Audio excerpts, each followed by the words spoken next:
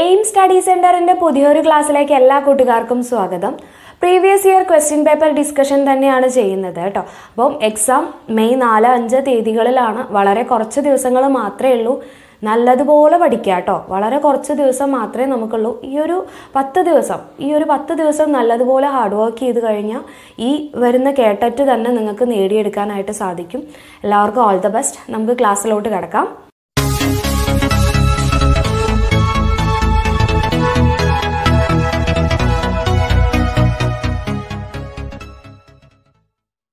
ആദ്യത്തെ ചോദ്യം. വൈജ്ഞാനിക വികാസ സിദ്ധാന്തം ആവിഷ്കരിച്ചത് ആര്? വൈജ്ഞാനിക വികാസ സിദ്ധാന്തം കൊഗ്നിറ്റീവ് ഡെവലപ്മെന്റ് തിയറി അല്ലെ? അത് ആവിഷ്കരിച്ചത് ആര്? Jean പിയാഷെ Abraham Maslow William James Robert Gagne. ഇതാണ് ഓപ്ഷൻസ് അല്ലെ? നമ്മളെല്ലാവരും പഠിച്ചിട്ടുള്ള ഒരു തിയറി ആയിരിക്കും ഈ വൈജ്ഞാനിക വികാസ സിദ്ധാന്തം എന്ന് പറയുന്നത് അല്ലേ? Theory of cognitive development. ആരുടെയാണ് theory of cognitive development? Jean പിയാഷെ അല്ലേ? വളരെ പ്രസിദ്ധമായിട്ടുള്ള വളരെ ഫേമസ് ആയിട്ടുള്ള ഒരു തിയറിയാണ് പിയാഷയുടെ തിയറി അല്ലേ? അതിൽ ഇമ്പോർട്ടന്റ് ആയിട്ട് നമുക്ക് പഠിക്കാനുള്ള കാര്യങ്ങൾ എന്താ? അതിന്റെ സ്റ്റേജസ് തന്നെയാണ് അല്ലേ? അദ്ദേഹം ആ തിയറിയിൽ വിവരി വിവരിച്ചിട്ടുള്ള ആ കൊഗ്നിറ്റീവ് ഡെവലപ്മെന്റിന്റെ ഫോർ സ്റ്റേജസ് തന്നെയാണ് ഇമ്പോർട്ടന്റ് ആയിട്ട് പഠിക്കാനുള്ളത് അല്ലേ? അപ്പോൾ ഏതൊക്കെയാണ് ആ ഫോർ സ്റ്റേജസ് എന്ന് പറയുന്നത്? ആദ്യത്തെ ഇന്ദ്രിയ ചാലക ഘട്ടം എന്താണ്? ഇന്ദ്രിയ ചാലക ഘട്ടം ഇന്ദ്രിയ ചാലക ഘട്ടം സെൻസറി മോട്ടോർ സ്റ്റേജ് എന്താണ്? സെൻസറി മോട്ടോർ സ്റ്റേജ് ആണ് ഇന്ദ്രിയ ചാലക ഘട്ടം രണ്ടാമത്തേത് ഏതാണ്? ആദ്യത്തെ ഇന്ദ്രിയ ചാലക ഘട്ടം രണ്ടാമത്തേത് പ്രാക് മനോവ്യാപാര ഘട്ടം എന്താണ്? പ്രാക് മനോവ്യാപാര ഘട്ടം പ്രാഗ്മനോ വ്യാപാര ഘട്ടം പ്രീ ഓപ്പറേഷണൽ സ്റ്റേജ്. ഇത് സെൻസറി മോട്ടോർ സ്റ്റേജ്. ഇത് പ്രീ ഓപ്പറേഷണൽ സ്റ്റേജ്. ഇനി മൂന്നാമത്തെ ഘട്ടമാണ് മൂർത്ത മനോവ്യാപാര ഘട്ടം എന്താണ്? മൂർത്ത മനോവ്യാപാര ഘട്ടം മൂർത്ത മനോവ്യാപാര ഘട്ടം കോൺക്രീറ്റ് ഓപ്പറേഷണൽ സ്റ്റേജ് അതാണ് മൂർത്ത മനോവ്യാപാര ഘട്ടം എന്ന് പറയുന്നത്. നാലാമത്തെ സ്റ്റേജ് ഏതാണ്? ഫോർമൽ ഓപ്പറേഷണൽ സ്റ്റേജ് അല്ലെ? അതാണ് ഔപചാരിക മനോവ്യാപാര ഘട്ടം ഔപചാരിക മനോവ്യാപാര ഘട്ടം ഇങ്ങനെ നാല് ഘട്ടങ്ങളിലൂടെയാണ് ആ ഒരു വ്യക്തിയുടെ കൊഗ്നേറ്റീവ് ഡെവലപ്മെന്റ് നടക്കുന്നത്. ഈ ഓരോ ഘട്ടത്തിലും ഒരുപാട് അതിന്റെ ഫീച്ചേഴ്സുകൾ പറയുന്നുണ്ട്. ക്യാരക്ടറിസ്റ്റിക്സുകൾ പറയുന്നുണ്ട്. അത് ഇമ്പോർട്ടന്റ് ആണ്. അത് പഠിക്കണം കേട്ടോ. അപ്പം ഈ ക്വസ്റ്റിനുമായിട്ട് റിലേറ്റ് ചെയ്തിട്ട് പറയുന്നു എന്ന് മാത്രമേ ഉള്ളൂ. ഈ ഓരോ ഘട്ടത്തിനെയും നമുക്ക് അതുമായിട്ട് റിലേറ്റ് ചെയ്തിട്ടുള്ള ക്വസ്റ്റ്യൻസുകൾ നോക്കാം. ഇനി ഇന്ദ്രിയ ചാലക ഘട്ടം. അത് എപ്പോൾ മുതൽ എപ്പോൾ വരെയാണ് അതിന്റെ കുറേ ക്യാരക്ടറിസ്റ്റിക്സുകൾ അതുമായിട്ട് റിലേറ്റ് ചെയ്തിട്ടുള്ള ഒരുപാട് ക്വസ്റ്റ്യൻസുകൾ പറ വരാറുണ്ട് എക്സാമുകൾക്ക് അപ്പോൾ അത് നല്ലതുപോലെ നോക്കേണ്ട ഒരു ഏരിയ ആണ് കേട്ടോ. പിയാഷയുടെ തിയറി എന്ന് പറയുന്നത് നല്ലതുപോലെ ഫോക്കസ് ചെയ്ത് പഠിക്കേണ്ട ഒരു ഏരിയ ആണ്. അപ്പം ആദ്യത്തെയാണ് ഇന്ദ്രിയ ചാലക ഘട്ടം പ്രാക് മനോവ്യാപാര ഘട്ടം മൂർത്ത മനോവ്യാപാര ഘട്ടം ഔപചാരിക മനോവ്യാപാര ഘട്ടം. Sensory motor stage pre operational stage operational stage concrete operational stage. അതാണ് മൂർത്ത മനോവ്യാപാര ഘട്ടം. Concrete operational stage. ഇത് ഫോർമൽ ഓപ്പറേഷണൽ സ്റ്റേജ്. ക്ലിയർ ആയോ? ഇതാണ് പിയാഷയുടെ കൊഗ്നിറ്റീവ് ഡെവലപ്മെന്റ് തിയറിയിൽ പറയുന്ന നാല് ഘട്ടങ്ങൾ എന്ന് പറയുന്നത്. ഇമ്പോർട്ടന്റ് ആണ്. അതിന്റെ ക്യാരക്ടറിസ്റ്റിക്സ് കൂടെ പഠിക്കാനുണ്ട് കേട്ടോ. അതുകൂടെ പറയുകയാണെങ്കിൽ വീഡിയോ ഒരുപാട് ലെങ്ത് ആയി പോവും. അപ്പം നമുക്കത് അതുമായിട്ട് റിലേറ്റ് ചെയ്തിട്ടുള്ള ക്വസ്റ്റ്യൻസുകൾ പറയുമ്പോൾ അതിന്റെ ക്യാരക്ടറിസ്റ്റിക്സുകൾ നമുക്ക് നോക്കാം കേട്ടോ. അപ്പം ഇത് ഇമ്പോർട്ടന്റ് ആയിട്ടുള്ള ഒരു തിയറിയാണ് വീണ്ടും പറയുന്നു ഇത് പഠിച്ചു കഴിഞ്ഞാൽ ഈ ഒരു തിയറി പഠിച്ചിട്ടുണ്ടെങ്കിൽ എന്തായാലും ഒന്നോ രണ്ടോ മാർക്ക് ആ ഒരു ഭാഗത്ത് നിന്ന് കിട്ടുന്നതായിരിക്കും. ഇനി എബ്രഹാം മാസ്ലോ. എബ്രഹാം മാസ്ലോടെ നമ്മൾ പഠിച്ചിട്ടുണ്ട്. നമ്മൾ കഴിഞ്ഞ ക്വസ്റ്റ്യൻ പേപ്പർ ഡിസ്കഷനിൽ തന്നെ ഒരു ക്വസ്റ്റ്യൻ നമ്മൾ ഡിസ്കസ് ചെയ്തിട്ടുള്ള ഒന്നോ രണ്ടോ ക്വസ്റ്റ്യൻ നമ്മൾ മാസ്ലോയുടെ തിയറി ആയിട്ട് റിലേറ്റ് ചെയ്തിട്ട് നോക്കിയിട്ടുണ്ടായിരുന്നു. ഏതാണ് മാസ്ലോയുടെ തിയറി സെൽഫ് ആക്ച്വലൈസേഷൻ തിയറി അല്ലെ? ആത്മയാഥാർത്ഥ്യവൽക്കരണ സിദ്ധാന്തം. എന്താണ്? ആത്മയാഥാർത്ഥ്യവൽക്കരണ സിദ്ധാന്തം. അല്ലെങ്കിൽ സ്വത്താവിഷ്കാര സിദ്ധാന്തം എന്നൊക്കെ പറയുന്നതാണ് സെൽഫ് ആക്ച്വലൈസേഷൻ തിയറി എബ്രഹാം മാസ്ലോയുടെ അല്ലെ? ആ ആവശ്യങ്ങളുടെ ശ്രേണി അനുസരിച്ചിട്ടാണ് അദ്ദേഹം എന്ത് ചെയ്തിട്ടുള്ളത്? അതിനെ ഒരു ശ്രേണി രൂപത്തിലാക്കി വെച്ചിട്ടുള്ളത്. അതിന്റെ ഏറ്റവും ടോപ്പിൽ വരുന്നത് ഏതാണ്? സെൽഫ് ആക്ച്വലൈസേഷൻ സ്വത്താവിഷ്കാരം ആത്മസാക്ഷാത്കാരം അല്ലെ? ആ ഒരു വ്യക്തിത്വ രൂപീകരണം എന്ന് പറയുന്നത്. ഏറ്റവും അടിത്തട്ടിൽ വരുന്നത് ഫിസിക്കൽ നീഡ്സ് അത് കഴിഞ്ഞാൽ സുരക്ഷിതത്വം. നമ്മുടെ ആദ്യത്തെ ശാരീരിക ആവശ്യങ്ങൾ അതാണ് ഫിസിക്കൽ നീഡ്സ് അതിന് തൊട്ടു മുകളിൽ വരുന്നതാണ് സുരക്ഷ എന്ന് പറയുന്നത്. ഇങ്ങനെ അദ്ദേഹം ഒരു ശ്രേണിയായിട്ട് അതിനൊരു പിരമിഡ് രൂപത്തിൽ അതിനെ എന്ത് ചെയ്തിട്ടുണ്ട്? അദ്ദേഹം വിവരിച്ചിട്ടുണ്ട് അല്ലെ? ആദ്യത്തെ സ്റ്റേജ് എന്ന് പറയുന്നത് ശാരീരികമായിട്ടുള്ള ആവശ്യങ്ങൾ നമ്മുടെ ഫിസിക്കൽ ആയിട്ടുള്ള നീഡ്സ് അതിന് തൊട്ടു മുകളിൽ വരുന്നത് സുരക്ഷ നമ്മുടെ സെക്യൂരിറ്റി എന്ന് പറയുന്ന ആ ഒരു പോയിന്റ് അതിന്റെ തൊട്ടു മുകളിലുള്ളത് എന്ന് പറയുന്ന റിലേഷൻഷിപ്പ് സ്നേഹബന്ധങ്ങൾ. അതാണ് മൂന്നാമത്തേതെന്ന് പറയുന്നത്. അതിന് തൊട്ടു മുകളിലുള്ളത് സെൽഫ് എസ്റ്റീം എന്ന് പറയുന്നത് ആദരവ് എന്നുള്ള ആ ഒരു സാധനം. ഏറ്റവും ടോപ്പിലായിട്ടുള്ള അത് എക്സാമിന് എപ്പോഴും ചോദിക്കാറുള്ളത്. എബ്രഹാം മാസ്ലോയുടെ ആവശ്യങ്ങളുടെ ശ്രേണിയിൽ ഏറ്റവും ഉയർന്നു നിൽക്കുന്നത് അതാണ്. ആ തിയറിയുടെ പേര് തന്നെയാണത്. ആത്മയാഥാർത്ഥ്യവൽക്കരണം അല്ലെങ്കിൽ സ്വത്താവിഷ്കാരം അല്ലെങ്കിൽ സെൽഫ് ആക്ച്വലൈസേഷൻ ഈ തിയറി ആയിട്ട് നമ്മൾ കുറേ കാര്യങ്ങൾ അവിടെ പറഞ്ഞിട്ടുള്ളതാണ് കേട്ടോ. അതുകൊണ്ടാണ് ഈ വരച്ച് വീണ്ടും അത് എക്സ്പ്ലെയിൻ ചെയ്യാത്തത്. അപ്പം അദ്ദേഹത്തിന്റെ തിയറി ആയിട്ട് ആവശ്യങ്ങളുടെ ശ്രേണി അത് നല്ലതുപോലെ പഠിച്ചു വെക്കുക. അപ്പം അദ്ദേഹത്തിന്റെ തിയറിയുടെ പേരെന്താണ്? ആത്മയാഥാർത്ഥ്യവൽക്കരണ സിദ്ധാന്തം അല്ലെങ്കിൽ സ്വത്താവിഷ്കാര സിദ്ധാന്തം. സെൽഫ് ആക്ച്വലൈസേഷൻ തിയറി ക്ലിയർ ആയോ? അടുത്തത് ആരാണ് ഓപ്ഷൻസ് വില്യം ജെയിംസ് അല്ലേ? വില്യം ജെയിംസിനെ കുറിച്ച് കേട്ടിട്ടുണ്ടോ? ആരാണ് വില്യം ജെയിംസ് ധർമ്മവാദം. എന്താണ്? ധർമ്മവാദം. അതൊരു സൈക്കോളജിക്കൽ സ്കൂൾ ഓഫ് തിങ്കിങ് ആണ്. ധർമ്മവാദം. ധർമ്മവാദം. ഫങ്ഷണലിസം ഫങ്ഷണലിസത്തിന്റെ പിതാവ് എന്നറിയപ്പെടുന്നതാണ് വില്യം ജെയിംസ്. ഫങ്ഷണലിസത്തിന്റെ പിതാവ് അതായത് ധർമ്മവാദത്തിന്റെ പിതാവാണ് വില്യം ജെയിംസ്. എന്താണ് ധർമ്മവാദം എന്ന് പറയുന്നത്? ഒരു ഒരു വ്യക്തി അവന്റെ പരിസരവുമായി ഇണങ്ങി ഇണങ്ങിച്ചേർന്ന് പോകുന്നതിന് അവനെ സഹായിക്കാൻ അതിന്റെ സഹായിക്കുന്നത് അവന്റെ മനസ്സിന്റെ ധർമ്മമാണ് എന്ന് പറയുന്ന സിദ്ധാന്തമാണ് ഫങ്ഷണലിസം അല്ലെങ്കിൽ ധർമ്മവാദം എന്ന് പറയുന്നത്. അതൊരു school of thinking psychological school of thinking ആണ്. അതായത് അത് പറയുന്നത് ഇത്രയേ ഉള്ളൂ. അതായത് which focuses which focuses the attention on the utility and the purpose of the human behaviour that has been modified over years for human existence അതായത് മനുഷ്യൻ എങ്ങനെയാണ് ആ ഒരു എൻവയോൺമെന്റുമായിട്ട് ഇണങ്ങി ചേർന്ന് പോകുന്നത്? അതിനുവേണ്ടി അവന്റെ ബിഹേവിയേഴ്സ് അതെല്ലാം നമ്മൾ എന്ത് ചെയ്യുന്നു? മോഡിഫൈ ചെയ്തുകൊണ്ടിരിക്കുന്നു അല്ലെ? അതിന് ഇണങ്ങി ചേർന്ന് പോവാൻ അവനെ സഹായിക്കുന്നത് എന്താണ്? ആ മനസ്സിന്റെ അവന്റെ ആ ഒരു ഫങ്ഷനാണ് ആ ഒരു ധർമ്മമാണ്. അതായത് ഇത് ഡാർവനീസോ ആയിട്ട് വളരെ അറ്റാച്ച്ഡ് ആയിട്ടുള്ള ഒരു തിയറിയാണ് കേട്ടോ. അതായത് ആ ഒരു ഹ്യൂമൻ എക്സിസ്റ്റൻസ് എങ്ങനെയാണ് ഉണ്ടാകുന്ന ആ ഒരു പരിണാമ സിദ്ധാന്തം അതിനെക്കുറിച്ചിട്ടൊക്കെ പറയുന്നത്. അപ്പം വില്യം ജെയിംസ് എന്താണ് ഫങ്ഷണലിസം ധർമ്മവാദത്തിന്റെ പിതാവ് എന്നറിയപ്പെടുന്നത് വില്യം ജെയിംസ് ആണ്. ക്ലിയർ ആയോ? ഇനി അടുത്തത് റോബർട്ട് ഗാഗ്നെ. റോബർട്ട് ഗാഗ്നെ ആയിട്ട് റിലേറ്റ് ചെയ്തിട്ട് നമ്മൾ എന്താ പഠിച്ചിട്ടുള്ളത്? ഹയറാർക്കി ഓഫ് ലേണിംഗ് അല്ലെ? ഹയറാർക്കി ഓഫ് ലേണിംഗ് പഠനത്തിലെ ക്രമീകരണ ശ്രേണി എന്താണ്? പഠനത്തിലെ പഠനത്തിലെ ക്രമീകരണ ശ്രേണി.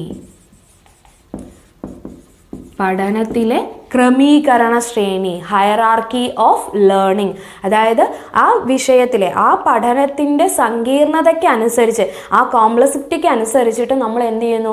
ആ ഒരു ലേണിംഗ് മെത്തേഡ് നമ്മൾ എന്ത് ചെയ്യുന്നു? അറേഞ്ച് ചെയ്യുന്നു. അതിനനുസരിച്ചിട്ട് അതിനെ നമ്മൾ അറേഞ്ച് ചെയ്ത് വെക്കുന്നു. ആ ഒരു ക്രമീകരണത്തിലേക്ക് അതിനെ കൊണ്ടുവരുന്നു. അത്രേ പറയുന്നുള്ളൂ എന്തിൽ ആ, പഠനത്തിലെ ക്രമീകരണ ശ്രേണി അല്ലെങ്കിൽ ഹയറാർക്കി ഓഫ് ലേണിംഗ് തിയറി അതിൽ അത്രേ പറയുന്നുള്ളൂ. അത് ഇമ്പോർട്ടന്റ് ആയിട്ടുള്ളതാണ് കേട്ടോ. ആ ഓരോ ലേണിംഗ് സ്റ്റേജസ് നമ്മൾ മനസ്സിലാക്കി വെക്കുക. അതിലും ചോദിക്കുന്നുണ്ട് ഈ ഗാഗ്നയുടെ ഹൈറാർക്കി ഓഫ് ലേണിങ്ങിൽ ഏറ്റവും ഉയർന്നു നിൽക്കുന്നത് ഏത്? അങ്ങനെയും ചോദിക്കാറുണ്ട് കേട്ടോ. അപ്പോൾ ഗാഗ്ന ഏതാണ്? ഹൈറാർക്കി ഓഫ് ലേണിംഗ് പഠനത്തിലെ ക്രമീകരണ ശ്രേണി. വില്യം ജെയിംസ് ധർമ്മവാദം ഫങ്ഷണലിസം അതുപോലെ എബ്രഹാം മാസ്ലോ ആവശ്യങ്ങളുടെ ശ്രേണി. ആത്മ യാഥാർത്ഥ്യവൽക്കരണ സിദ്ധാന്തം സെൽഫ് ആക്ച്വലൈസേഷൻ തിയറി അത് ജീൻ പിയാഷെ എന്നാണ് നമ്മുടെ ചോദ്യത്തിന്റെ ഉത്തരം. വൈജ്ഞാനിക വികാസ സിദ്ധാന്തം ആവിഷ്കരിച്ചതാര്? അല്ലെ? Who postulated the theory of cognitive development ആരാണ് ജീൻ പിയാഷെ? ക്ലിയർ ആയോ? അടുത്ത ചോദ്യം സാമൂഹിക പഠന സിദ്ധാന്തം ആവിഷ്കരിച്ചതാര്? സോഷ്യൽ ലേണിംഗ് തിയറി ആരുടേതാണ്? അല്ലെ ആരാണ് കൊണ്ടുവന്നിട്ടുള്ളത്? E. L. Thorndike Vygotsky Albert Bandura B. F. Skinner. അല്ലെ? ആരാണ് സാമൂഹിക പഠന സിദ്ധാന്തം കൊണ്ടുവന്നിട്ടുള്ളത്? നമ്മൾ കഴിഞ്ഞ ക്വസ്റ്റ്യൻ പേപ്പർ ഡിസ്കഷനിൽ പറഞ്ഞിരുന്നു അവിടെ ഒബ്സർവേഷണൽ ലേണിംഗ് തിയറി നിരീക്ഷണ പഠന സിദ്ധാന്തം എന്നുള്ളത് പറഞ്ഞിരുന്നു. അപ്പോൾ പറഞ്ഞു ഈ സാമൂഹിക പഠന സിദ്ധാന്തം എന്നുള്ള തിയറിയുടെ മറ്റൊരു പേരാണ് the theory of observational learning ആരാണ് കൊണ്ടുവന്നിട്ടുള്ളത്? Albert Bandura. ആരാണ്? Albert Bandura. അദ്ദേഹത്തിന്റെ ബോബോ ഡോൾ എക്സ്പെരിമെന്റിന്റെ കാര്യം പറഞ്ഞിരുന്നു അല്ലേ? ഏതാ പരീക്ഷണം? ബോബോ പാവ പരീക്ഷണം. ബോബോ പാവ പരീക്ഷണം. ഇത് എക്സാമിന് ചോദിക്കാറുണ്ട് കേട്ടോ. ബോബോ പാവ ബോബോ പാവ എക്സ്പെരിമെന്റ് അല്ലേ? ബോബോ ഡോൾ എക്സ്പെരിമെന്റ് അതിൽ കൂടെ അദ്ദേഹം എന്ത് തിയറിയിലേക്കാണ് എത്തിച്ചേർന്നത്? അദ്ദേഹം പറയുന്നത് ഇത്രയേ ഉള്ളൂ. ഈ ദൃശ്യമാധ്യമങ്ങളിൽ കൂടെയും അല്ലെങ്കിൽ നമ്മുടെ രക്ഷിതാക്കളിൽ നിന്നുമൊക്കെ അവർ ചെയ്യുന്ന പ്രവർത്തികൾ അവരുടെ വ്യവഹാരങ്ങൾ ബിഹേവിയേഴ്സ് നമ്മൾ എന്ത് ചെയ്യുന്നു? അതായത് കുട്ടികൾ അവർ അനുകരിക്കുന്നു. അതിനെ അവർ അതേപോലെ തന്നെ എന്ത് ചെയ്യുന്നുണ്ട്? ഇമിറ്റേറ്റ് ചെയ്യുന്നുണ്ട് എന്നാണ് അദ്ദേഹം പറയുന്നത്. അപ്പോൾ ഇദ്ദേഹം ഇത് തെളിയിക്കുന്നതിന് വേണ്ടിയിട്ടാണ് ബോബോഡോൾ എക്സ്പെരിമെന്റ് നടത്തുന്നത്. അതായത് കുട്ടികളിൽ എങ്ങനെയാണ് ഈ അഗ്രസീവ് ആയിട്ടുള്ള സ്വഭാവം ഉണ്ടാവുന്നത്? അതിന്റെ what are the factors that determine that aggressive nature ആ അവരുടെ ആ ഒരു അഗ്രസീവ് നേച്ചർ ആ എന്തൊക്കെ ഫാക്ടേഴ്സാണ് അതിനെ ഡിറ്റർമിൻ ചെയ്യാൻ എടുക്കുന്നത്? പിന്നെ അവരുടെ ലൈഫിൽ if they are followed that aggressive nature throughout their life അവർ ആ ഒരു അഗ്രസീവ് നേച്ചർ അവരുടെ ലൈഫിൽ വീണ്ടും എപ്പോഴെങ്കിലും അത് വീണ്ടും കാണിക്കുന്നുണ്ടോ? ഇതൊക്കെ തെളിയിക്കുന്നതിന് വേണ്ടിയിട്ടാണ് അദ്ദേഹം എന്ത് ചെയ്തിട്ടുള്ളത്? ഈ ഒരു ബോബോ ഡോൾ എക്സ്പെരിമെന്റ് അദ്ദേഹം നടത്തുന്നത്. അപ്പോൾ അതിൽ കൂടെ ആ ഒരു കുറേ വീഡിയോസ് അവർക്ക് കാണിച്ചു കൊടുക്കുന്നു. ബോബോ ഡോളിനെ അറ്റാക്ക് ചെയ്യുന്ന ഒരു അതായത് തൊണ്ണൂറ്റാറ് കുട്ടികളിലാണ് ഇദ്ദേഹം ഈ ഒരു പരീക്ഷണം നടത്തുന്നത്. ഈ തൊണ്ണൂറ്റാറ് കുട്ടികളെ അദ്ദേഹം മൂന്ന് ഗ്രൂപ്പായിട്ട് തിരിക്കുന്നു. ആ ബോബോ ഡോളിനെ അറ്റാക്ക് ചെയ്യുന്ന പോലെ അറ്റാക്ക് ചെയ്യുന്ന വിവിധ തരത്തിൽ അറ്റാക്ക് ചെയ്യുന്ന തരത്തിലുള്ള ആ വീഡിയോസ് അവർക്ക് മൂന്ന് ഗ്രൂപ്പുകൾക്കും കാണിച്ചു കൊടുക്കുന്നു. എല്ലാവരും ആ ഒരു നേച്ചർ തന്നെയാണോ കാണിക്കുന്നത്? അതിനെ അദ്ദേഹം നിരീക്ഷിച്ചിട്ടാണ് ഈ ഒരു തിയറിയിലേക്ക് എത്തുന്നത്. ക്ലിയർ ആയോ? അപ്പോൾ ആ ഒരു ബോബോഡോൾ എക്സ്പെരിമെന്റ് എന്ന് പറയുന്നത് ആൽബർട്ട് ബന്ദൂര അദ്ദേഹത്തിന്റെ സോഷ്യൽ ലേണിംഗ് തിയറി കൊണ്ടുവരുന്നതിന് വേണ്ടിയിട്ട് the theory of observational learning അല്ലെങ്കിൽ നിരീക്ഷണ പഠന സിദ്ധാന്തം കൊണ്ടുവരുന്നതിന് വേണ്ടി നടത്തിയ എക്സ്പെരിമെന്റാണ് ബോബോഡോൾ എക്സ്പെരിമെന്റ് അപ്പം ഈ എക്സ്പെരിമെന്റിലൂടെ അദ്ദേഹം അദ്ദേഹത്തിന്റെ തിയറി അവതരിപ്പിച്ചത് മൂന്ന് പ്രധാന ഗ്രന്ഥങ്ങളിലൂടെയാണ്. ഒന്ന് അഡോളസന്റ് അഗ്രഷൻ എന്താണ്? Adolescent aggression adolescent aggression. Adolescent aggression. അത് ആയിരത്തി തൊള്ളായിരത്തി അൻപത്തി ഒൻപതിലാണ് അദ്ദേഹം പുറത്തിറക്കുന്നത് കേട്ടോ. Adolescent aggression. രണ്ടാമത്തേത് അഗ്രഷൻ എ സോഷ്യൽ ലേണിംഗ് എന്നുള്ള ആ ഒരു പുസ്തകം. Aggression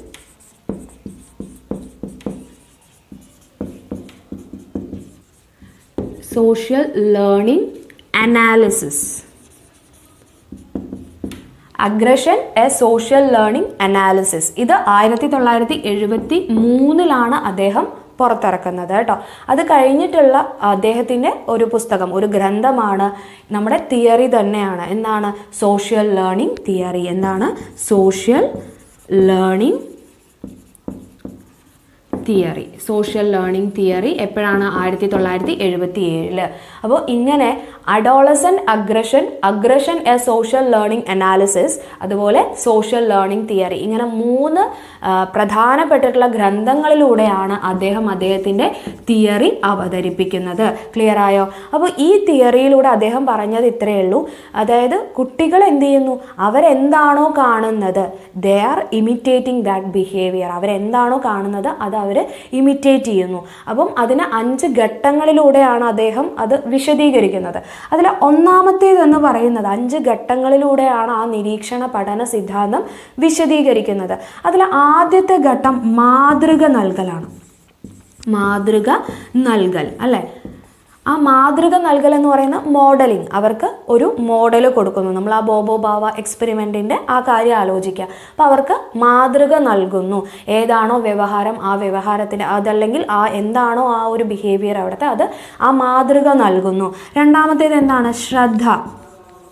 അറ്റൻഷൻ അവരത് ശ്രദ്ധാപൂർവം നിരീക്ഷിക്കുന്നു. മൂന്നാമത്തെ ഘട്ടം എന്ന് പറയുന്നത് അതിനെ നിലനിർത്തലാണ്. റിട്ടൻഷൻ എന്ന് പറയുന്ന ആ ഒരു നിലനിർത്തൽ. അതായത് റിട്ടൻഷൻ എന്ന് പറയുന്നത്. അവരതിനെ ആ ഒരു ബിഹേവിയർ ഏത് വ്യവഹാരമാണോ അവരവിടെ കണ്ടത് അതിനെ എന്ത് ചെയ്യുന്നു? ഇവർ ദീർഘകാലത്തേക്ക് അത് നിലനിർത്തുന്നു. ആ ഒരു ബിഹേവിയർ ഇവർ ഇവരുടെ ഓർമ്മയിൽ നിലനിർത്തുന്നു. നാലാമത്തെ ഘട്ടം എന്ന് പറയുന്നത് ചാലക പ്രകടനമാണ്. എന്താണ്?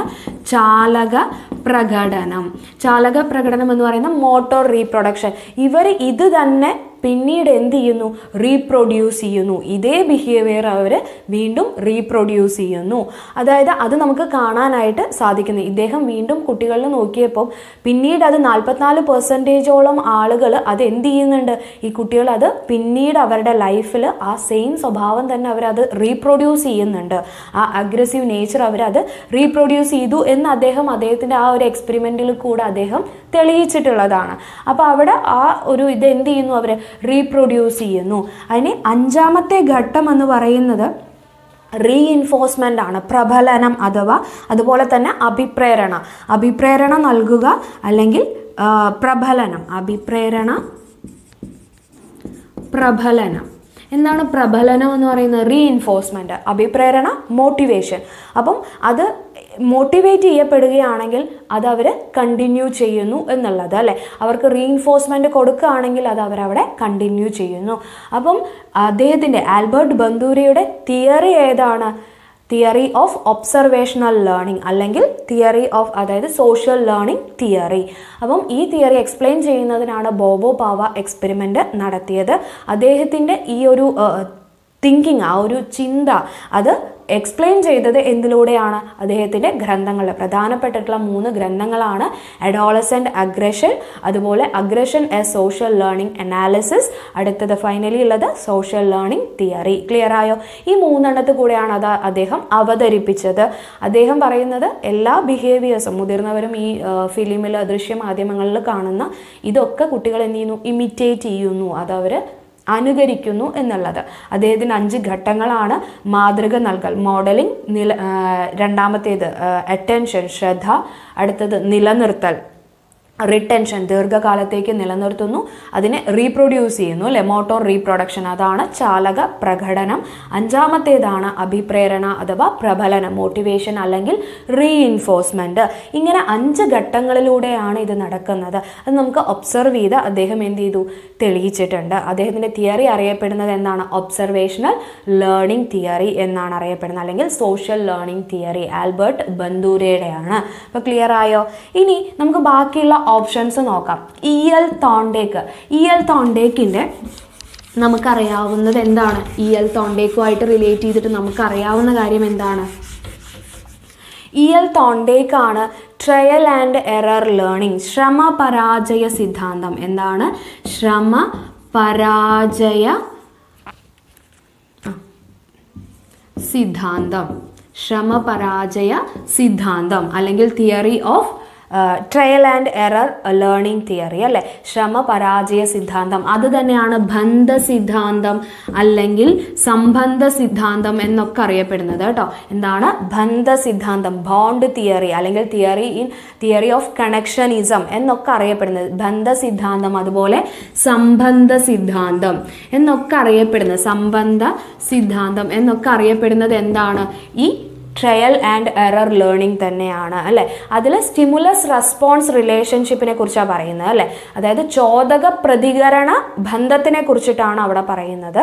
അതായത് സ്റ്റിമുലസ് റെസ്പോൺസ് റിലേഷൻഷിപ്പ് അതിനെയാണ് അവിടെ ഫോക്കസ് ചെയ്യുന്നത്. അദ്ദേഹത്തിന്റെ പരീക്ഷണം തെളിയിച്ചത് ഏതിലൂടെ ആയിരുന്നു ഒരു പ്രശ്ന പേടകത്തിൽ അകപ്പെട്ടിട്ടുള്ള പൂച്ച അല്ലെ? Cat in the puzzle box അതിനെ ബേസ് ചെയ്തിട്ടാണ് അദ്ദേഹം അതിന് അദ്ദേഹത്തിന്റെ തിയറി അവതരിപ്പിച്ചിരുന്നത് അല്ലെ? അപ്പോൾ ശ്രമപരാജയ സിദ്ധാന്തം അതുപോലെ ബന്ധ സിദ്ധാന്തം സംബന്ധ സിദ്ധാന്തം theory bond theory theory of connectionism എന്നൊക്കെ അറിയപ്പെടുന്നത് ആരുടെ തിയറിയാണ് ഈ ടോണ്ടേക്കിന്റെ തിയറിയാണ് ക്ലിയർ ആയോ? ഇനി അടുത്തത് വൈഗോഡ്സ്കി വൈഗോഡ്സ്കിയുടെ കാര്യം നമ്മൾ കഴിഞ്ഞ ക്ലാസ്സിൽ പറഞ്ഞിട്ടുള്ളതാണ് അല്ലേ? അപ്പോൾ ആ വീഡിയോ കാണാത്തവരാണെങ്കിൽ ജസ്റ്റ് അവിടെ ഒന്ന് കാണുക കേട്ടോ. എന്നാലും നമ്മൾ അവിടെ കൂടുതലായിട്ട് എക്സ്പ്ലെയിൻ ചെയ്തിട്ടുണ്ടെങ്കിലും ഒന്നുകൂടെ പറയാം. അദ്ദേഹത്തിന്റെ പ്രശസ്തമായിട്ടുള്ള രണ്ട് മൂന്ന് ആശയങ്ങൾ എന്ന് പറയുന്നത് ഒന്നെന്ന് പറയുന്നത് സോൺ ഓഫ് പ്രോക്സിമൽ ഡെവലപ്മെന്റ് അല്ലേ? സെറ്റ് പി ഡി എന്ന് പറയുന്നത് സോൺ ഓഫ് പ്രോക്സിമൽ ഡെവലപ്മെന്റ് എന്താണ് വികസ സമീപസ്ഥ വികാസ മണ്ഡലം. അപ്പോൾ സോൺ ഓഫ് പ്രോക്സിമൽ ഡെവലപ്മെന്റ് അതുപോലെ തന്നെ സ്കഫോൾഡിങ് അല്ലെ? കൈത്താങ് എന്ന് പറയുന്നത്. അതുപോലെ തന്നെ കോപ്പറേറ്റീവ് ലേണിംഗ് എന്താണ് കോപ്പറേറ്റീവ് ലേണിംഗ് എന്ന് പറഞ്ഞാൽ സഹകരണാത്മക പഠനം അല്ലേ? അപ്പോൾ കോപ്പറേറ്റീവ് ലേണിംഗ് ഇതൊക്കെ ആരുടെയാണ് കോപ്പറേറ്റീവ് ലേണിംഗ് ഇതൊക്കെ വൈഗോഡ്സ്കി ആയിട്ട് റിലേറ്റ് ചെയ്തിട്ടുള്ള കാര്യങ്ങളാണ്. ഈ എന്താണ് സെറ്റ് പി ഡി എന്നുള്ളതൊക്കെ നമ്മൾ മറ്റൊരു ക്ലാസ്സിൽ ചെയ്തിട്ടുള്ളതാണ്. അപ്പോൾ കാണാത്തവരുണ്ടെങ്കിൽ ആ വീഡിയോ ഒന്ന് കാണാം കേട്ടോ. അപ്പോൾ അതിൽ നമ്മൾ ഒരുപാട് കാര്യങ്ങൾ പറഞ്ഞിട്ടുണ്ട്. അതുകൊണ്ടാണ് വീണ്ടും പറയാത്തത് കേട്ടോ. അപ്പം നമ്മളെ ഫോളോ ചെയ്ത് വരുന്നവർ ഇത് അവിടെ പറഞ്ഞല്ലേ? അപ്പോൾ വീണ്ടും വീണ്ടും അത് ആവർത്തിക്കുന്നില്ല. ഓക്കെ അപ്പം വൈഗോഡ്സ്കി ആയിട്ട് റിലേറ്റ് ചെയ്തിട്ട് നമുക്ക് പഠിക്കാനുള്ളത് എന്താണ്? വൈഗോഡ്സ്കി സാമൂഹ്യ ജ്ഞാന നിർമ്മിതിവാദത്തിന്റെ പിതാവാണ് അല്ലേ? സോഷ്യൽ കൺസ്ട്രക്റ്റിവിസം വൈഗോട്സ്കി ആണ് Z P D zone of proximal development സമീപസ്ഥ വികാസ മണ്ഡലം അല്ലെങ്കിൽ വികാസത്തിന്റെ സമീപസ്ഥ മണ്ഡലം എന്നൊക്കെ പറയുന്നതാണത്. അതായത് നമുക്കൊരു ആക്ച്വൽ എബിലിറ്റി ഉണ്ടാവും ഒരു കറണ്ട് എബിലിറ്റി ഉണ്ടാവും അല്ലാതെ ഒരു പൊട്ടൻഷ്യൽ എബിലിറ്റി ഉണ്ടാവും. ഇവയുടെ ഇടയിലുള്ളതാണ് ഈ Z P D zone of proximal development scaffolding കൈത്താങ് അതുപോലെ കോപ്പറേറ്റീവ് ലേണിംഗ് പിയർ ലേണിംഗ് എന്നൊക്കെ പറയുന്ന അത്. അപ്പോൾ ഇതാണ് അദ്ദേഹത്തിന്റെ പ്രധാന ആശയങ്ങൾ. ക്ലിയർ ആയോ? ഇനി B F Skinner. B F സ്കിന്നറെ കുറിച്ച് നമുക്ക് എന്താ അറിയാം? അദ്ദേഹത്തിന്റെ പ്രവർത്തനാനുബന്ധ സിദ്ധാന്തം. എന്താണ്? പ്രവർത്തനാനുബന്ധ പ്രവർത്തനാനുബന്ധ സിദ്ധാന്തം.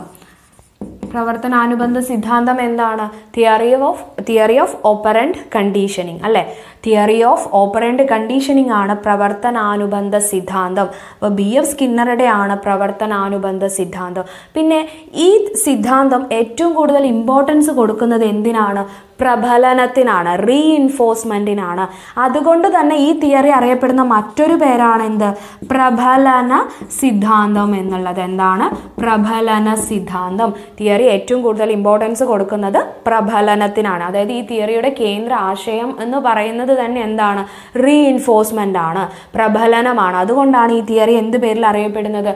പ്രബലന സിദ്ധാന്തം എന്ന് അറിയപ്പെടുന്നത്. അതായത് നമ്മുടെ സോഷ്യൽ ലേണിംഗ് തിയറി അറിയപ്പെടുന്ന മറ്റൊരു പേരെന്താണ്? നിരീക്ഷണ പഠന സിദ്ധാന്തം എന്നാണ് അല്ലേ? എന്താണ്?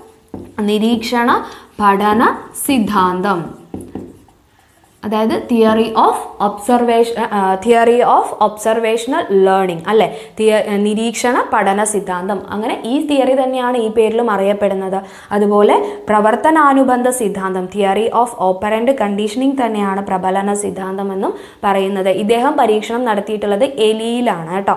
അതുപോലെ തന്നെ ഇവിടെ തോണ്ടേക്ക് സ്റ്റിമുലസ് റെസ്പോൺസിനാണ് അദ്ദേഹം പ്രാധാന്യം കൊടുത്തത് അല്ലെ? അതായത് ചോദക പ്രതികരണത്തിനായിരുന്നു അവിടെ പ്രാധാന്യം കൊടുത്തത്. എന്നാൽ ഇവിടെ എന്താണ്? റെസ്പോൺസ് സ്റ്റിമുലസ് നേരെ തിരിച്ചാണ്. പ്രതികരണ ചോദകം. അതിനനുസരിച്ചിട്ടാണ് ഇന്ന് നടത്തുന്നത്. പ്രതിക പ്രതികരണത്തിനനുസരിച്ചിട്ടുള്ള ചോദകങ്ങൾ അവിടെ കൊടുക്കുന്നു. ആ രീതിയിലാണ് അവിടെ അദ്ദേഹം ആ തിയറി എക്സ്പ്ലെയിൻ ചെയ്യുന്നത്. അപ്പോൾ ഇദ്ദേഹത്തിന്റെ തിയറി പ്രവർത്തനാനുബന്ധ സിദ്ധാന്തം theory of operant conditioning clear ആയോ? അപ്പോൾ ഈ ഒരു തിയറി ആയിട്ട് നമുക്ക് ഇത്രയും കാര്യങ്ങളാണ് പ്രധാനമായിട്ടും പഠിച്ചു വെക്കേണ്ടത് കേട്ടോ.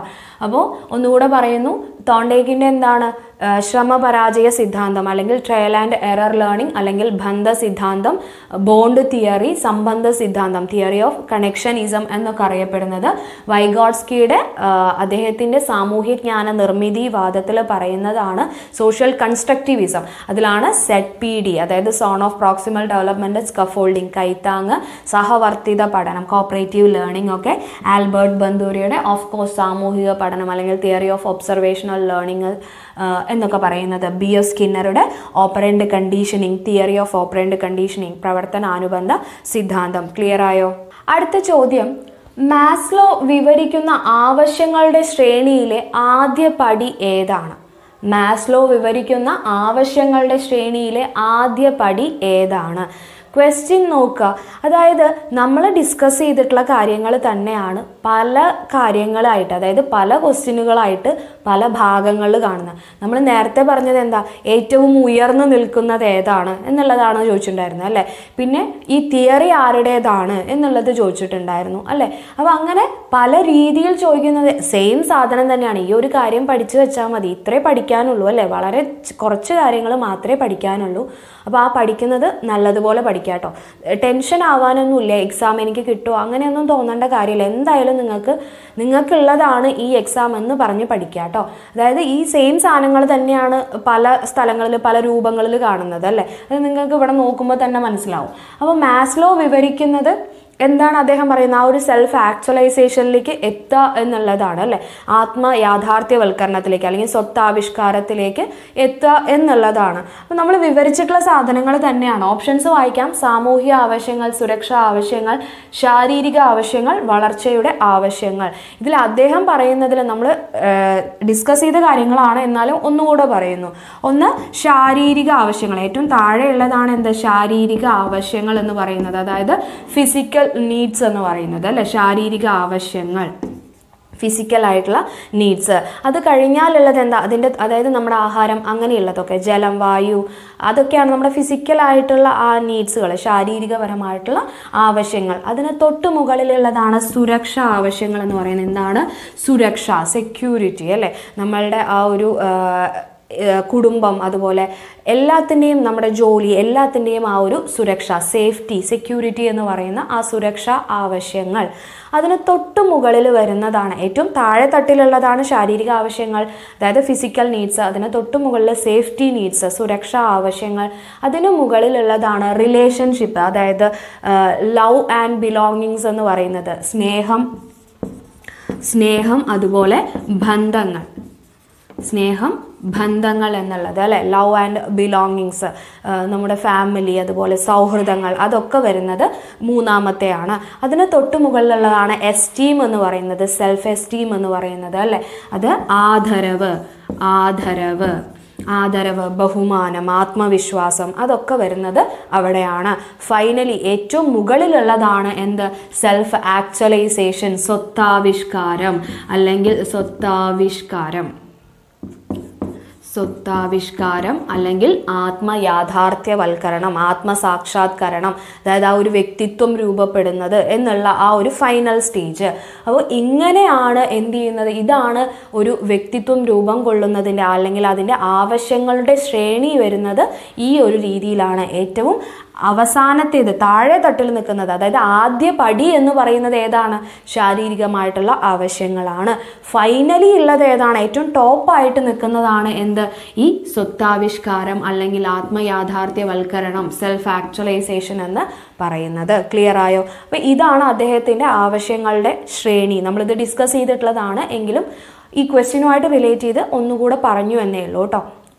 അപ്പം ഇതിലേതാണ് അപ്പോൾ ഉത്തരം വരുന്നത്? ആദ്യ പടി എന്ന് പറയുന്നത് ശാരീരിക ആവശ്യങ്ങളാണ് അല്ലേ? മാസ്ലോയുടെ ആദ്യത്തെ പടി ആവശ്യങ്ങളുടെ ശ്രേണിയിലെ ആദ്യത്തെ പടി എന്ന് പറയുന്നത് ശാരീരിക ആവശ്യങ്ങളാണ് ഫിസിക്കൽ നീഡ്സ് ആണ്. ക്ലിയർ ആയോ? അപ്പോൾ ഇത്രയും കാര്യങ്ങളാണ് നമ്മൾ ഇന്നത്തെ ക്ലാസ്സിൽ നോക്കുന്നത്. ബാക്കിയുള്ളവ നമുക്ക് മറ്റൊരു ക്ലാസ്സിൽ നോക്കാം.